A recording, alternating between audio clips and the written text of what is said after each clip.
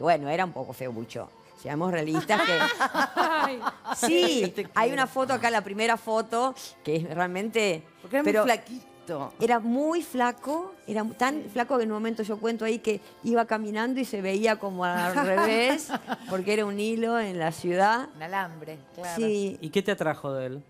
bueno, primero la música y después esa alegría que él tra- ¿Se transmitía. conocieron tocando? ¿Cómo, cómo se conocieron? No, eh, hay un lugar que todavía está ahora, es un, un cine porno. Eh, Perdón. Claro, ¿En un el, el- porno? el- el Bien, ABC bien. ahora se convirtió en un cine, digamos, eh, así, XX. Sí. Aunque hay algunas este, stand-up, yo paso por ahí porque vivo cerca. Hay algunos stand-up locos de algunos señores, como llaman los osos, ¿de acuerdo? Sí, sí. Eh, que, bueno, son divertidos, porque se ve ahí, pasan un video. Y bueno, y alguien me dijo que ahí estaban haciendo una música que a mí me iba a gustar mucho, porque era una amiga mía que me conocía, que sabía que me gustaba la poesía, que me gustaba la música clásica.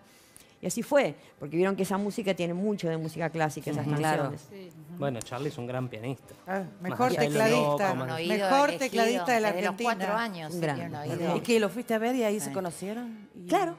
Agarré y éramos en un teatro que no había luz eléctrica y está todo contado. Y fui y le di el teléfono.